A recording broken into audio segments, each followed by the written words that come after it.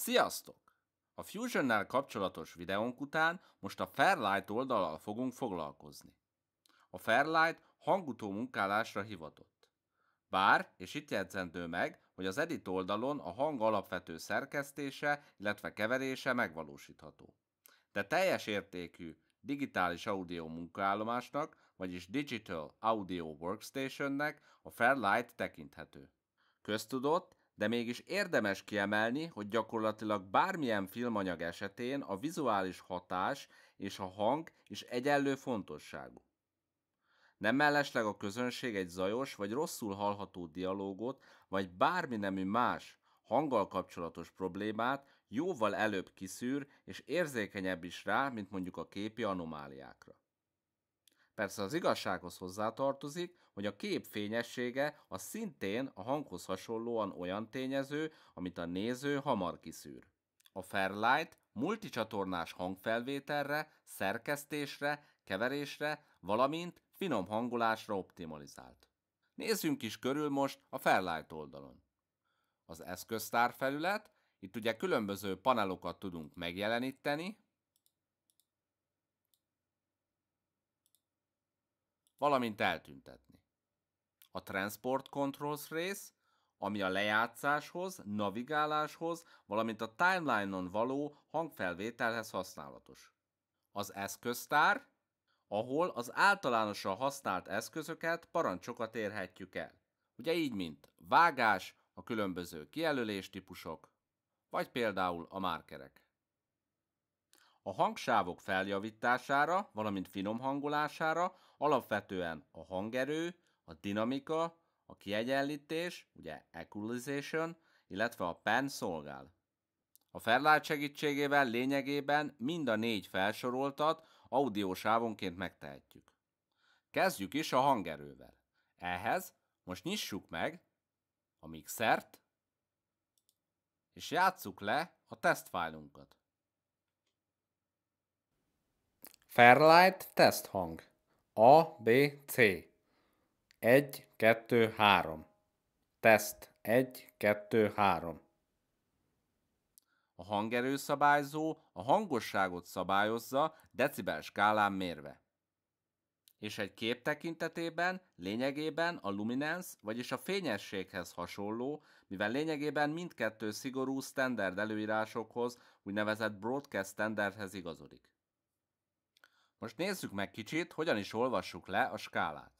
Az úgynevezett RMS Peak Meter az audio klipjeink hangerejét decibel skálával fejezi tehát ki.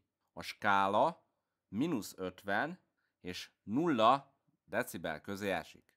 Ugye minden jelszint, ami 0 decibel fölé esik, az torzított lesz. Tehát a 0 decibel a clipping level. E fölé tehát semminek sem szabad esnie.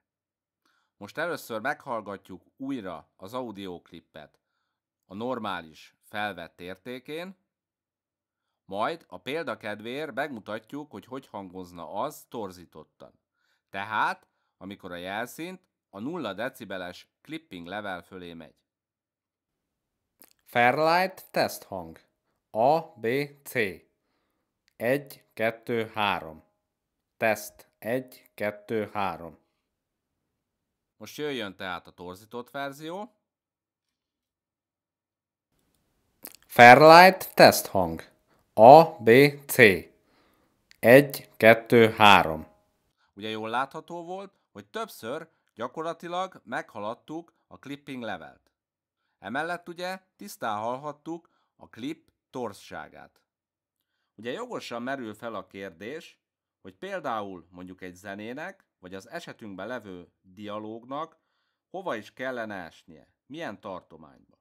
Tehát lényegében a zenékre és a dialógokra, de a hangeffektekre is van egy általános, úgymond cél decibel jelszint, ami jó kezdőpontként szolgál. Végtére is a fülünk lesz az a műszer, amivel eldöntjük az eredményt. A következő ábrán tehát pont ezeket a céldecibel értékeket láthatjuk.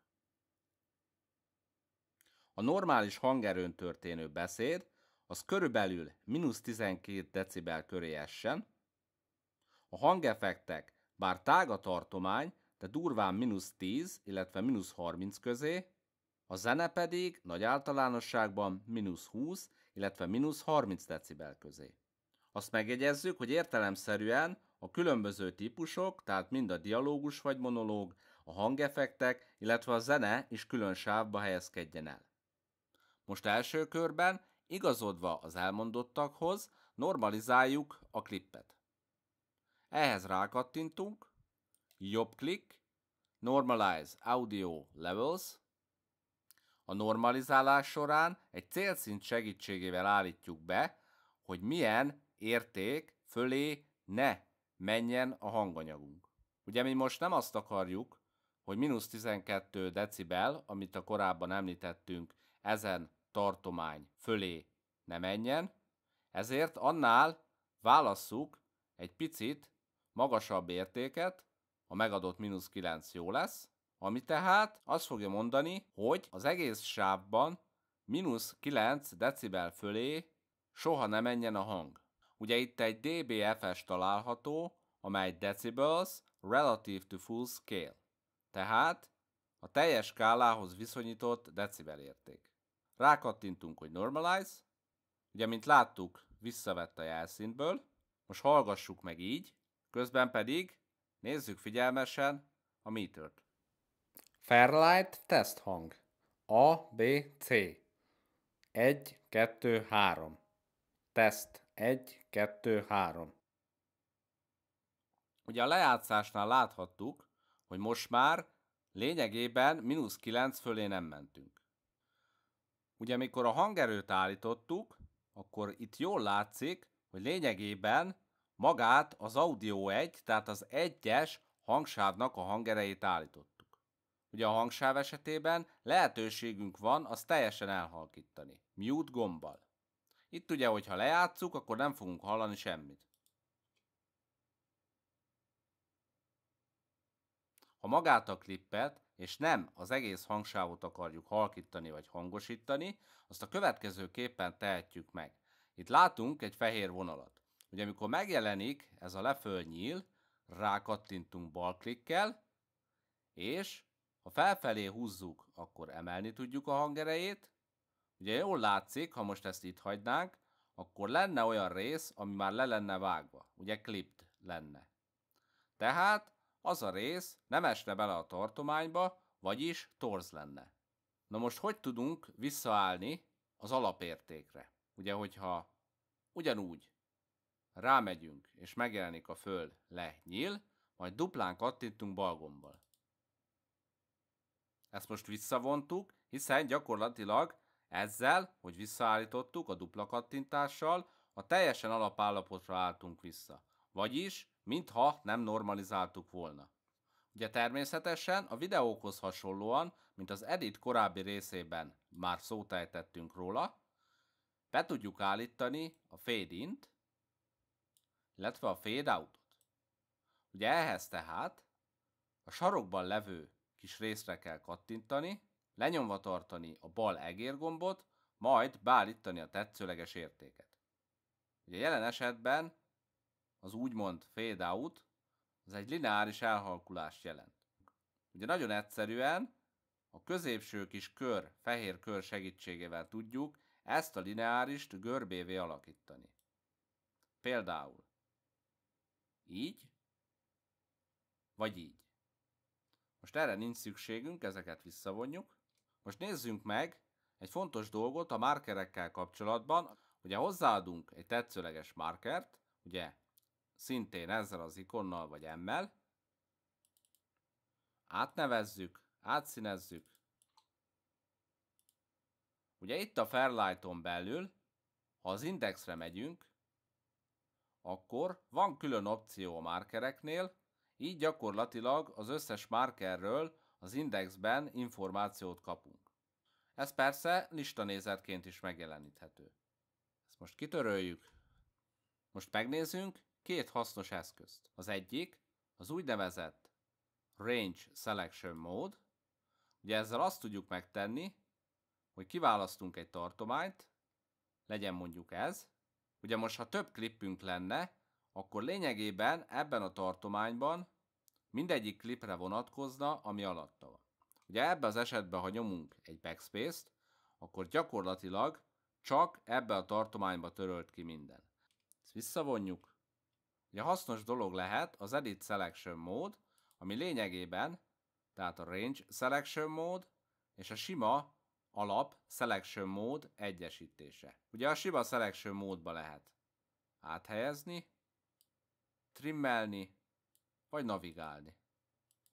Na most, ha kiválasszuk az Edit Selection módot, akkor, hogyha a klip felső részébe vagyunk, akkor a Range Selection módként viselkedik, ha az alsó részébe, akkor meg elsősorban a Selection módhoz hasonlóan. Ugye azzal a különbséggel, hogy itt már behozta azt a tartományt, amire vonatkozik. Ugye mivel az egész klippet mozgattuk, ezért ezt vette a teljes tartománynak. Persze, ha nem len vagyunk, hanem a felső részébe, akkor mi módosíthatjuk, hogy de mi ezt a tartományt szeretnénk.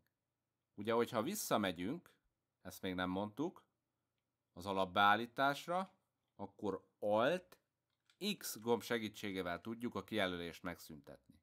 Ugye természetesen itt is megtalálható Stepping Tool, a Linked Selection, és persze a vágás. Most még mielőtt érintenénk az Equalizer-t, illetve a Dynamics-et, vagyis dinamikát, nézzük meg, hogyan is tudunk zajt csökkenteni. Ugye maga a zajcsökkentés az az úgynevezett Noise Reduction effektel történik. Ugye történhet ez más módon is, bizonyos szavaró frekvenciasávok levágásával, de mi a direkt erre kifejlesztett plugin fogjuk használni. Ezt megtaláljuk az Effects Library-be. És elérhetjük az effekteket a mixeren belül is. És most ráhúzzuk a left channelre.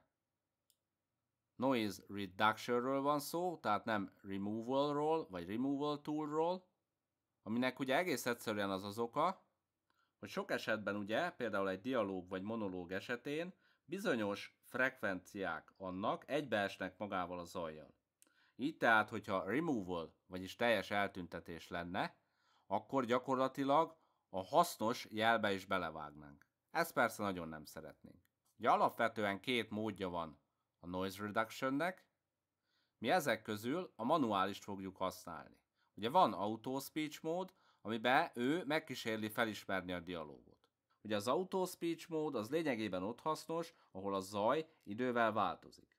Ugye most a manuál módon vagyunk. Ugye a manuál mód eléréséhez egy learn szakaszt kell először megtennünk. De mire vonatkozik ez a learn? Tehát lényegében ugye a file az direkt úgy lett felvéve, hogy legyen egy hosszabb szakasz, amire ezt a tanulási folyamatot, tehát ami alatt megtanulja a rendszer, hogy mi az, ami zaj, el tudja végezni. Na most hogy tudjuk ezt konkrétan megtenni? Ugye a hangfile elejére megyünk, rákattintunk a Learn gombra, majd mi most Space segítségével lejátszuk a fájt. Na most ami fontos, hogy még szigorúan a monológ előtt le fogjuk állítani, hogy nehogy véletlenül zajként értelmezze a monológot is. Elindítjuk, és megállítottuk. Ugye nagyon fontos, hogy most már kikapcsoljuk a Learn gombot. Ugye látszik, hogy a rendszer jelentős zaj távolított el. Ezt most megtesszük a másik sávra is, szintén Manual, Learn, lejátszás, megállít, Learn kikapcsol. Most lejátszuk először a Noise Reduction-t bekapcsolva, majd anélkül. Fairlight test hang. A, B, C. 1, 2, 3. Test 1, 2, 3. Most kikapcsoljuk, nézzük meg milyen volt eredetileg. Fairlight test hang. A, B, C. 1, 2, 3. Test 1, 2, 3. A különbség tehát hallható volt. Visszakapcsoljuk. Bár azért olyan nagy különbség nincs, ugye igyekeztünk egy viszonylag csendes szobába felvenni a hanganyagot. Ugye említés szintjén ennek a finom hangulásáról. Ugye a drive-ettel lényegében azt lehet meghatározni, hogy mennyire használja az effektet. Ugye a 100% vet esetében használja 100%-ba. A threshold a felvételek jel-zaj arányát fejezi ki, ugye signal to noise, Ugye a határérték magasabb értékei alapvetően a gyenge jelzaj arányú felvételek esetén szükségesek, ami tehát erősebb zajcsökkentést eredményez. A sensitivity pedig magas értékek esetén felnagyítja a zajprofilt, vagyis erősebb zajcsökkentést biztosít. De ugye ezzel a jelentősebb zajcsökkentéssel a hasznos anyagot is jelentősebben érintheti. Az attack az első sorban az auto speech mód esetén használatos. Ugye ennek az itt megadott időtartamnak, annak lényegében a nem kívánatos zaj változékonyságával javallott megegyeznie. A zajcsökkentés után most picit kukkaltsuk bele a Dynamics-ba. És kiválasszuk a Dynamics-et a mixeren belül az Audio 1-en. Dupla kattintás, és ekkor a dinamika beállítást jeleníti meg. Ugye a dinamika tartomány az lényegében a leghalkabb csúcsok és a leghangosabb csúcsok közti különbséget jelenti. Tehát, ha egy nagy dinamika tartományú hangról, dialógról vagy monológról beszélünk, akkor ebben a hangsávban előfordul suttogás, de kiabálás is. Tehát mondjuk egy narráció az inkább a kis dinamika tartományba sorolható. Tehát a Dynamic Controls segítségével Lényegében a dinamika tartományra történő beállításokat tehetünk meg. Ugye ezek közül a kompresszor, ami tulajdonképpen a dinamika tartomány szűkítésére szolgál úgy, hogy lecsökkenti a leghangosabb csúcsokat. És ezzel a csökkentéssel lényegében tehát az alsó csúcsokhoz hozza közelebb. Hogy jobban látható legyen a működése, húzzuk most a thresholdot vissza,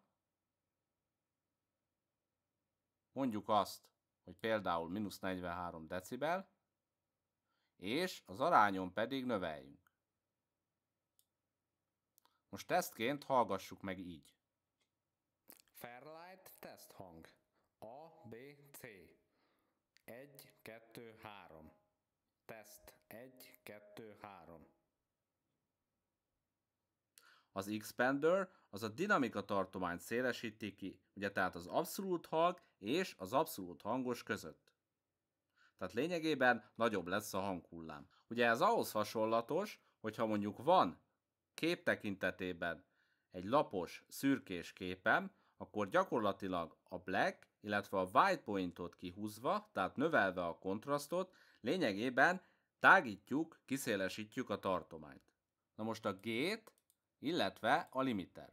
Ezek gyakorlatilag egy akusztikus téglafalként funkcionálnak, ugye a limiter, ami limitálja a hangot, hogy ne haladjon meg egy megadott szintet, vagy pedig, és ez a gét, megakadályozzák, hogy a hang alacsonyabb legyen egy még hallható, megadott alsó határnál. A Dynamic után most nézzük meg a pent.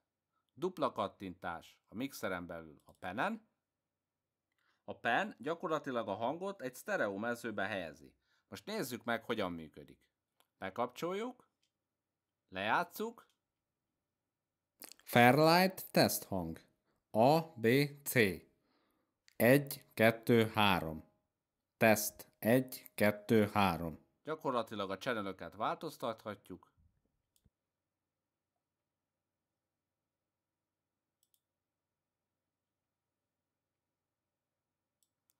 Vagy adott esetben, ha rendelkezésünkre állna, akkor meghatározhatnánk, hogy hátulról vagy előről szóljon.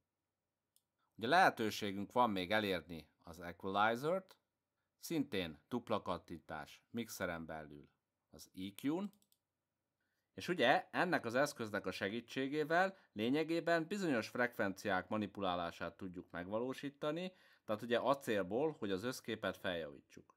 Ugye ennek az eszköznek a segítségével lényegében a frekvenciák manipulálását tudjuk megvalósítani. Ez lényegében egy képi példával élve olyan, mintha ott a szaturációt, a színt vagy a színezetet állítanánk. Lényegében tehát a különböző frekvenciákat tudjuk hangosítani vagy halkítani. A Fairlight oldalról nagyon tömören, lényegében ennyit szerettünk volna elmondani. Köszönjük, hogy velünk tartottatok, ha tetszett a videó, dobjatok egy lájkot, iratkozzatok fel, tartsatok velünk legközelebb is. Sziasztok!